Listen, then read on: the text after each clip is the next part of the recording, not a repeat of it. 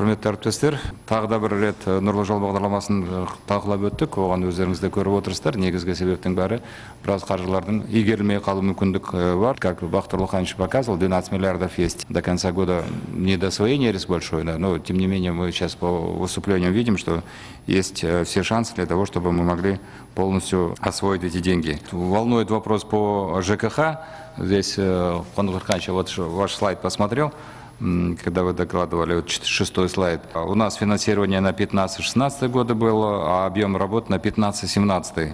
И в итоге что получается? Начиная с 15 года уже год заканчивается. За два года мы построили, реконструировали 385 километров из 1440. Так, да? А на оставшийся год еще 1100. Два года мы работали на 385 километров. Успеем ли мы? А, Вот здесь вопрос, поэтому я прошу, чтобы эти вопросы взяли на контроль, Оскар Зукович. Просто посмотрите по областям, у кого больше проблем возникает, чтобы потом мы не оказались в нехорошей ситуации. Также э, коллег Акимов тоже хочу попросить, чтобы там больше уделяли на это вопрос. И неспроста я сейчас вот э, Нурлан Скаровичу говорил, мы деньги на самом деле большие выделяются в рамках дорожной карты бизнеса 2020 по подведению инфраструктуры для малого и среднего бизнеса. Э, Другие области у нас дополнительно запрашивают деньги. Это очень большая поддержка, подмога для бизнеса. Если инфраструктуру подвели, уже это снижение себестоимости выпускаемой продукции. Здесь поэтому надо, мне кажется, нам ускоряться и э, перестроить ту работу, которая э, сегодня имеется.